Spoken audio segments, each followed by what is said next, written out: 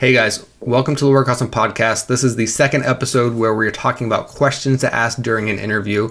Uh, today I sat down with Meghan, Sarah, and Gene to go over some of the questions that they've seen during the interviewing process and really give some great insight from a recruiter or hiring manager perspective. If you find anything of really great value, please jump on one of my social media pages on Facebook, LinkedIn, Instagram, and share what that value is. It helps other people find it. Uh, it also will start to create more conversation on those pages which will allow the community to build. In the long run, that will help us get to know you guys and the questions that you want to have answered. I hope you really enjoy this podcast. I will see you guys on the other side.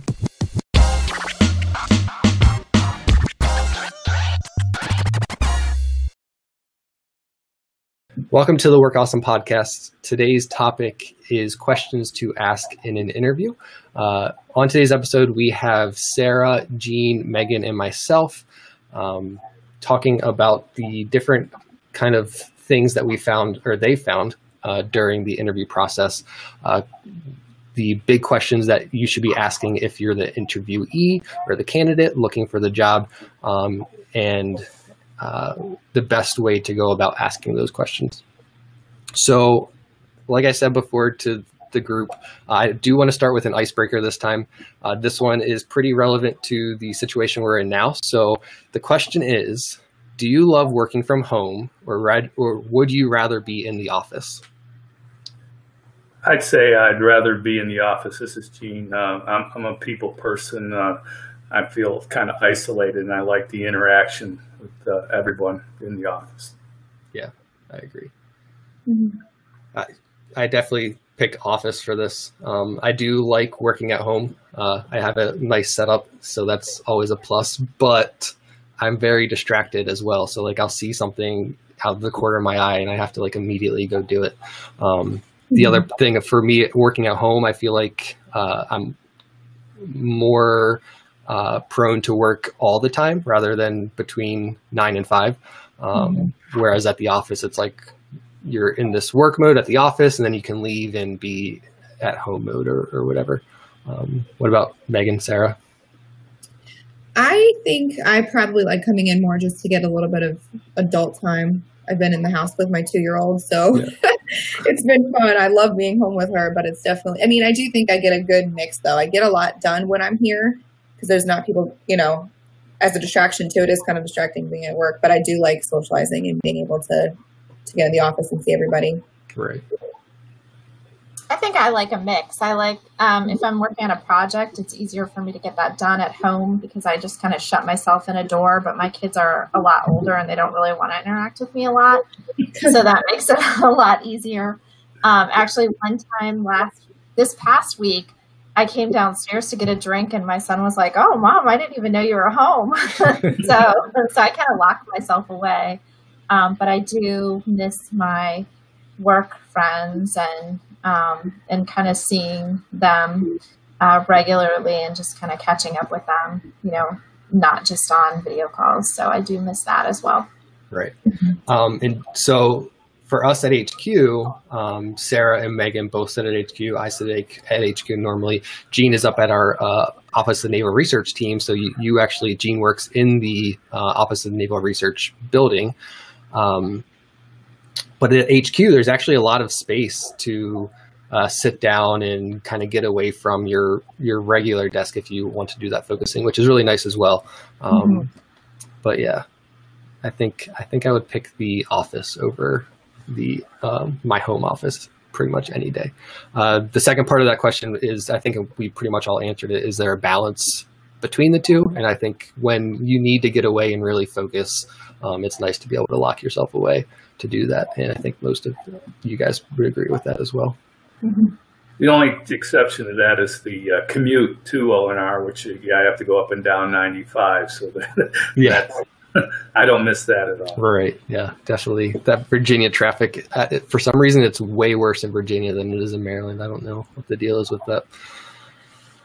Uh, so, getting into the topic of today's discussion, uh, questions to ask during an interview.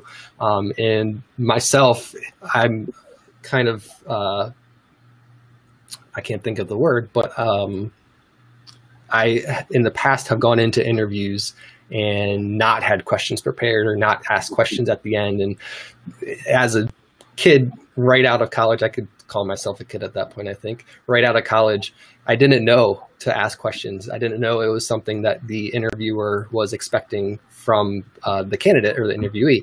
Uh, for you guys, if somebody comes in without any questions uh, prepared or without asking any questions toward the end of the interview, is that like an automatic turnoff for you guys? Is it something that stands out uh, as a negative? It is something that, that stands out. It's, it's not a, a deal breaker, but you wonder, you know, what the person is thinking about. Why have why is he not asking questions? Also, you, you, you wonder why he's not uh, asking about the company. You know, why hasn't he done those things? Yeah, I think um, I don't think it's an automatic like disqualifying thing, but I do think that it shows the level of interest when people care to like not only do the research to know what kind of questions to ask, but just what are you getting yourself into? Where do you see yourself when it comes to this company? I do think that it is important that people ask questions because it shows your interest and your investment in the company that you're potentially going into. Yeah, I agree with that, Meghan and Gene. Um, I I appreciate it when uh, and a candidate comes in and has a list of questions, and sometimes I've even seen people come in. They have the posting, um, they've printed that out, and they've mm-hmm. actually highlighted question and you know written little notes. And sometimes I've even noticed that they're checking things off during the interview, like okay, that answers that, you know, that answers that question. And we do try to um, answer questions about what the job is like, what what work life is at Avian, and um, kind of what work environment you're going to be in. So if those questions are answered, that's great. But I do feel like um, like during the interview, um, other questions can come up as the conversation goes. I think most of our interviews at Avian are very conversational. So um, I typically start an interview and say, uh, you know, this is a conversation we want to see you're a fit for the position, but you also want to see if you're a, a fit for this environment as well. Um, you certainly don't want to accept a position that you're not going to feel comfortable with and you're not going to enjoy supporting. So, um, so it's really good for them to know uh, the you know have the answers at the end. Um, and if they feel like along the way they need to ask some questions, or at the end if they want to ask some questions, and it's really it really shows us that they care and that they really care about the fit. They're not just looking for um, for a job. Mm-hmm. Yeah, definitely. I, I agree. Uh, so that kind of like goes into my next question. In what kind of what, I guess, what questions do you appreciate people asking? So Gene mentioned um, asking about the company uh, and and things like that. Is there are there questions that people have asked in the past that you just kind of like appreciate them asking you like answering and kind of just educating them on on either the company or something else i do appreciate them asking about the company and, and it shows that uh, they've gone and done their homework I, I, appreciate when they've gone and they've gone and looked at the uh, website and they know what they're talking about and they know what we do so that they're they're more educated mm-hmm. I think the two biggest ones that I've found as a recruiter, but also just working closely with hiring managers that people enjoy is um, I like when people ask questions to give more detail about what their day to day is going to look like. Um, that not only is just kind of reading the job description, but it's really asking what am I going to be doing from a day to day basis, who I be working with, those types of questions. And then a fun one that I always just liked, I always personally asked this during interviews was what the person likes about the company, like how long mm-hmm. they've been here, what they enjoy about it. And I think that also just shows that you're kind of getting to know your teammates and the people who's interviewing you a little bit too, instead of specifically just about the job. So I like, I personally think those two are really, really good questions to ask. Yeah, I agree with that, Meghan. Um, one of the other things I think is is a good question to ask is, um, and I think Gene and I were actually just talking about this the other day.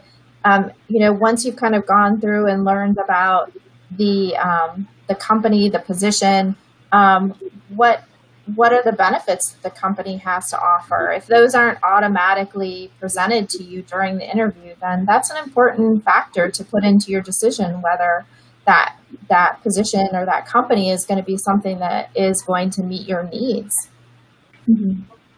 I agree with Sarah because sometimes they're only thinking about the bottom line salary and not the, the total package.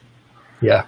And Avian is pretty heavy on culture. We like when people fit the culture that we already have. We also like when they bring new culture to us.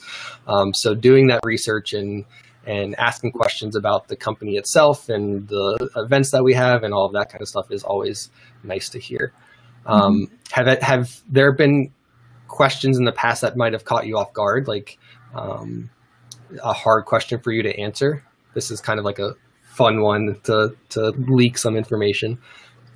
So um, during one interview, and uh, this person turned out to be a fabulous hire, uh, but um, I actually was practically sweating by the end of the interview because the questions were so um, they were so like yeah they really wanted to make sure that they were taking a position that was going to be a position that was not just you know a short term position, which I thought was great because they'd be leaving a job um, that they currently had and maybe didn't necessarily mind, but were looking for a new opportunity. Um, one of the uh, and and then in addition to that, they were really making sure. Like I kind of felt like um, they were making sure that the company was strong, that Avian was going to be around for a long time, that you know that there was actually going to be a place for them to work.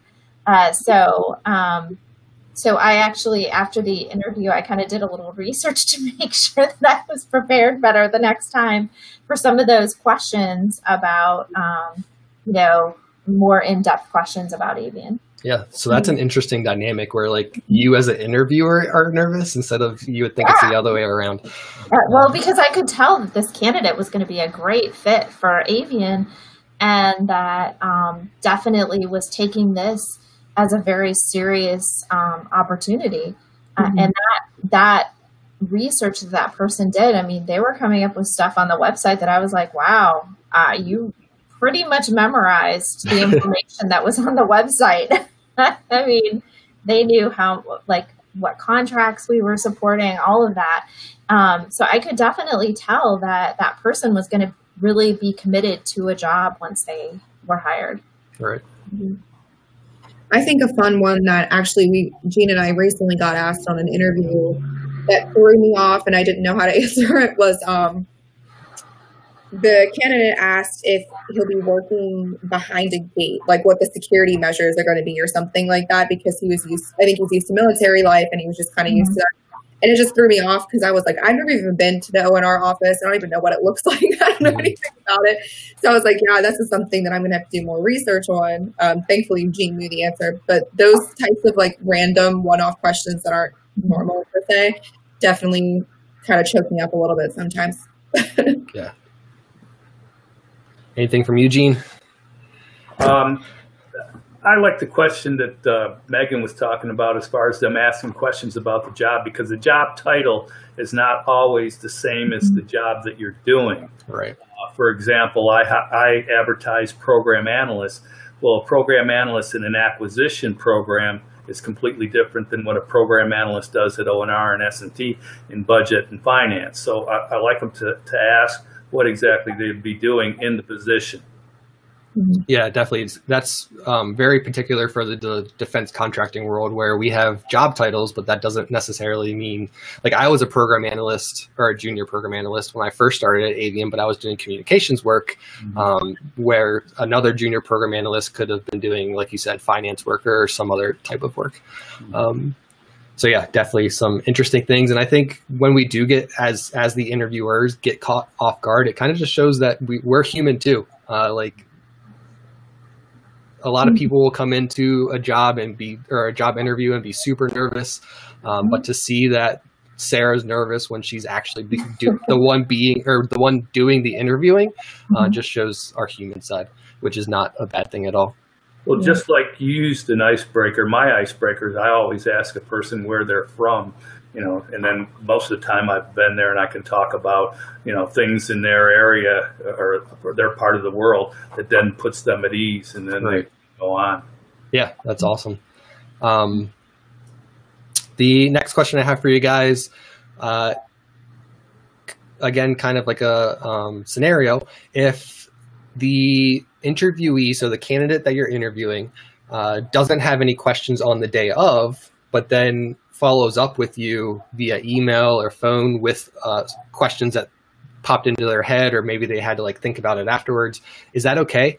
Is that um, something that you'd be kind of uh, that you think is a positive thing coming out of an interview? Absolutely.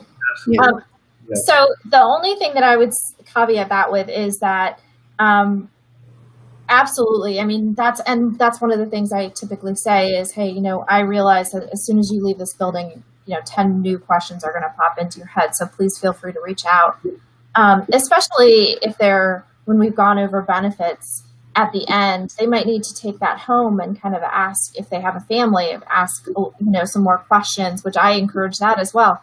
Uh, the only thing that I would say is that when you're in the room with the recruiter and the hiring manager, then the the answers are pretty immediate. Uh, if someone emails me a question that I don't have the answer to, it might take me a bit of time to get that answer, but I definitely would work to get that answer as soon as I could. Yeah, I do think it's a good thing. And like Sarah said, it, it gives you an opportunity to go home and talk to your significant other or your family or whatever the case may be to figure out as a dynamic if it works for you. So I think more questions kind of come up than when you're just sitting there. I think during my interview, I don't even know if I had many, you know, many questions. I think there was a couple, but there wasn't too much because it sounded like something I felt comfortable doing. You know, so in the moment there wasn't a lot, but I probably bothered Sarah afterwards, and it didn't it didn't bother her. So I think it's perfectly normal, and we're we're used to it. I think as recruiters we get that very often. It's a normal normal thing. I think it's very good, and then it also.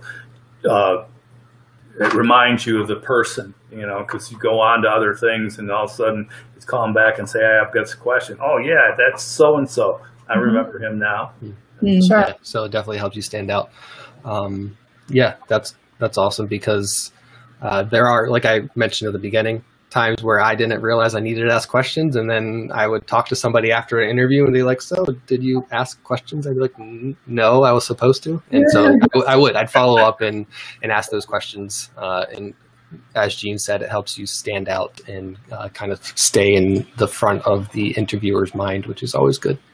Right, and one of the things, I mean, I mentioned one of um, my suggestions would be to go through and you know look at the original job post mm-hmm. and uh, generate some questions that way if you don't have any that come up to mind um, and it's okay to take a note notepad or something like that actually i encourage it into the interview because um, then while the person is talking while the interviewer is talking you can jot down your questions as they come up um, maybe some of those questions that you wrote wrote down prior to the interview are answered, but maybe some new ones are generated during the interview.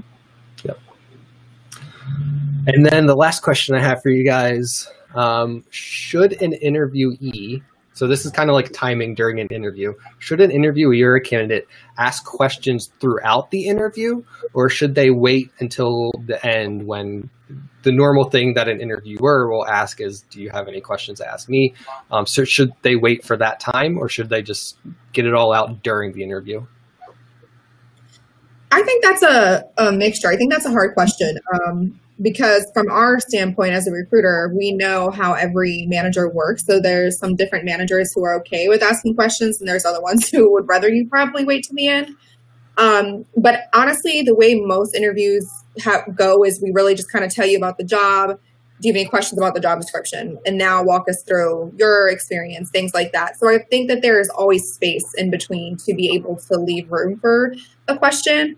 Um, I think like maybe the question about what do you like personally about the job, maybe that should wait to the end just because that's like mm-hmm. a, a question for another person. But if it's specific to the job, I don't think there's anything wrong with kind of just breaking in there when you have the chance to ask the question, especially when it's fresh and in your mind because you're taking in a lot of information. So you don't want to forget your question by the end of it. Right. And like Sarah said, um, these interviews are meant to be like conversational. So yeah. I think being able to ask those questions during the interview uh, just makes it feel even more like a conversation. What about um, I had a point to this. What about oh, if you ask all your questions during the interview and then you get to the end and the interviewer asks, do you have any questions? But you've already asked all your questions. Should is that does that make That's sense to you guys? Fine. Yep, totally fine. Uh, Um, and the way I look at an interview is more as a conversation. I mean, this is this is a time when um, the interviewee and the interviewers have all cleared their calendar, and this is their time to have a conversation. So, um, you know, the interviewee should probably be the one should be the one doing most of the conversing um, while they're asking a question. And even if maybe a question is asked and you pause for a minute and you're not quite sure what the question really was, um, you can say, you can either repeat it back or ask it to be repeated for the question to be repeated um, to you as well. Um, so I, I do think that um, that if you're asking questions along the way, the interviewer is going to pick up on that, and that's totally not a problem. And that really means that you're very engaged in the interview. Yeah. And then you can just get to the end and if they ask, say you answered all my questions and you know, I don't have anything else right now, but if I think of anything else, I'll shoot you an email, give you a call. And that happens often. Yep. it keeps the flow of the conversation going and keeps everybody involved wi- without a lot of dead space. You don't want that because then people get nervous and Mm-hmm. Right. Well, and, the, and my thought process too is that it, generally speaking, depending upon the questions, of course, but if their questions are being asked during the interview, then it's more apparent whether the interviewee really is understanding the position and um, some of some of the kind of their familiarity with the work can really come up because they're thinking of questions that you're like, wow, they really do understand this concept. Well, that's all the questions I have for you guys. Is there anything else on this topic that you can think of that you want to share? We talked about, um, I think the most important thing is to be prepared, do your research, um, have questions ready, uh, keep a conversation in mind because really this is just a conversation between two people. The interviewer might be as nervous as the interviewee, um, depending on the situation so uh, it's it's just a conversation and it's not anything to be uh, really super overworked up about What I would like to add is, uh, besides the, having your questions ready, I do something that our owner, our president, really believes in. Is that 30 second uh, elevator speech. Have that ready in your back pocket to be able to uh, give that at any time. You know, if things get really bogged down, and he said, "Well, what do you do? What do you think about yourself?" And you give that 30 second elevator speech, and bam, you're you're in there. Yeah, definitely anything else sarah or meghan I don't think so. I think we covered a lot. I mean, the big thing is that when you leave an interview, you want to be sure that you understand the position, as I think we talked about earlier, and that you are comfortable with your knowledge of the company and that you're comfortable with the benefits or the total compensation kind of options that are available as well. Mm-hmm. Yeah so i think if that's everything um, we did put an article together that has seven standard questions that an interviewee could consider asking during an interview process so i'll link that um, in the description of this video or this podcast uh, so that you can check it out and be prepared for your next interview uh, so thank you guys for joining me gene sarah meghan thank you uh, and on the next episode of the Work Awesome podcast, we're talking about interview dolts. So things, common mistakes that people make um, that they really probably shouldn't uh, during during the interview process. So again, thank you guys for joining me, and I will talk to everybody later. Thank you, Ian. Thank you, Ian. I hope you guys enjoyed that podcast. Again, if you found something of really great value, jump on one of my social media pages, comment what that value is, even leave a timestamp if you're on YouTube so that other people can find it and we can start growing this really great community. If you're not following me on social media, it's pretty much the same on all platforms. Ian Wolbert on Instagram, YouTube, Facebook, on LinkedIn. Again, you just have to search for Ian Wolbert and you can connect with me on there. Uh, we are also starting an email list. In all the descriptions for these videos, you can sign up for that email list and receive great information about all of these topics that we're going over. If you just want more, if you want to read about these topics, I have articles on LinkedIn, Medium that I'm posting so that if you prefer reading about these topics, they're there for you as well. Thank you again for listening, and I'll see you again next week for the Work Awesome podcast. The Work Awesome podcast is brought to you by Avian. Avian is a 49% employee owned company founded by retired U.S. Navy test pilots who believe passion and talent are the right traits to get the job done. Avian operates in a culture that thrives on innovation, creativity, and the entrepreneurial spirit. Instead of offering services through mere business transactions, Avian is redefining the government services industry by creating meaningful experiences and connecting talented people with important work. The passion that Avian's employees have for its work builds better partnerships for the future, and Avian's unique talents create real solutions. At Avian, Avian, we move fast, take risks, and don't settle for the status quo. To learn more, visit Avian's website at avian.com. That's A V I A N.com.